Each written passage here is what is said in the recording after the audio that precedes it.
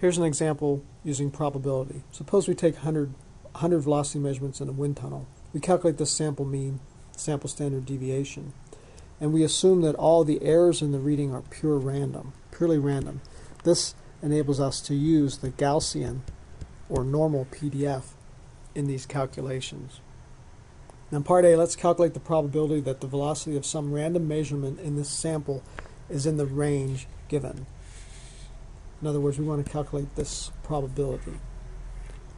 So what we'll do is we'll calculate z1, which is defined as v1 minus mu over sigma, where in our case, instead of v, let's use x to be consistent with our notation. So we'll approximate this, since we don't know mu and sigma, the population mean and population standard deviation, we'll approximate these as the mean, sample mean, and the sample standard deviation. And so z1, uh, since the mean and z and x1 are the same, z1 is 0, and z2 similarly is x2 minus x bar over s, and that's equal to 5.200, the second value, minus the mean, 5.126, over standard deviation, 0.0690, and this gives us 1.072. Now here's the key to solving these kind of problems. I like to draw a figure so that we know exactly what we're dealing with, which area under the curve that we're concerned about. So here's our f of v or f of x. You could use v or x here. It's actually velocity. Um, our PDF in real life, real variables, looks like this. And the mean is here. This I'll call x bar. And then x1 is actually equal to x bar, and x2 is somewhere over here. And the area that we're interested is this area. This is the probability that x1 is less than x is less than or equal to x2. Now when we transform this to the z, f of z, since we were told that the errors are purely random, we assume that this transforms into a standard bell curve Gaussian or normal PDF. So f of z versus z will look like this, where our mean is now 0, and this turns out to be our z1, z1 is 0, and z2 is what we calculated up here is 1.072.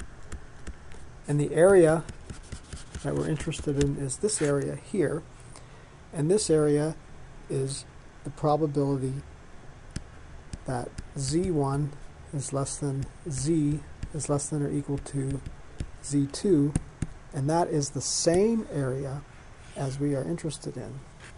Now it turns out that this area is also called a of z in our notation, so we simply need to look up a of z in our table. So at z2 equal 1.072, we look at the PDF table for the normal distribution, which I have up here.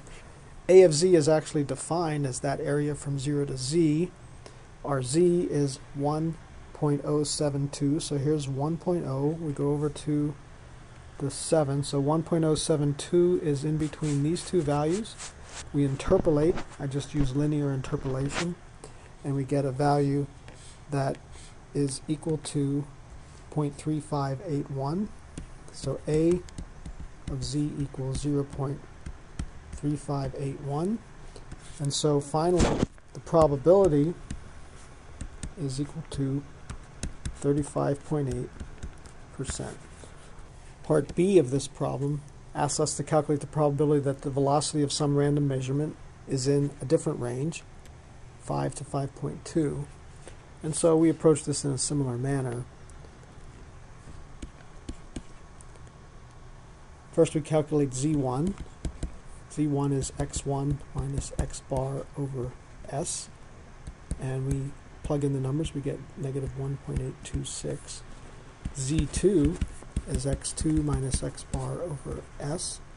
and we get 1.072, same as the previous problem actually, which was 1.072. And so from that problem, from A, A of Z2 uh, was already calculated as 0.3581. And we have to calculate A of Z1, well, we know that A of Z1 is A of negative Z1 since the Gaussian is symmetric.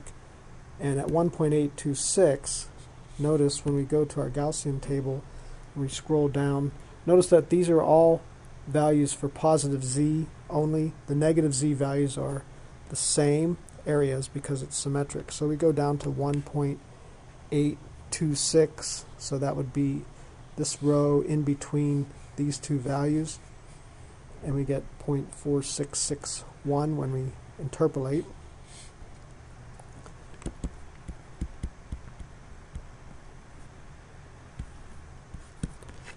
And so again, it's good to draw uh, a diagram so that we know which areas we're interested in. Here's our original f of x versus x, our original curve. We are interested in velocities between v1, or uh, we'll call it x, x1, and x2. So we're interested, here's the mean, we're interested in this area.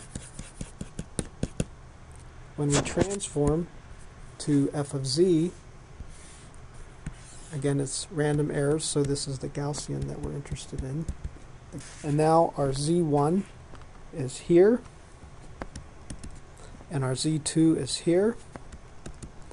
And the area we want is the area inside, which, as I stated before, is the same as this area. So these areas are equal. Now, in this problem, we must recognize that this is A of Z1, and this area is A of Z2. So the probability that Z lies between Z1 and Z2 is the same as the probability that X lies between X1 and X2. And so finally we can conclude that we have to add those areas. So the probability that v1 is less than v is less than or equal to v2 for those given two given velocities equals a of z1 plus a of z2 and we plug in 0.4661 that we had calculated plus 0.3581 and we get 0.8242 or final answer to three significant digits 82.4%.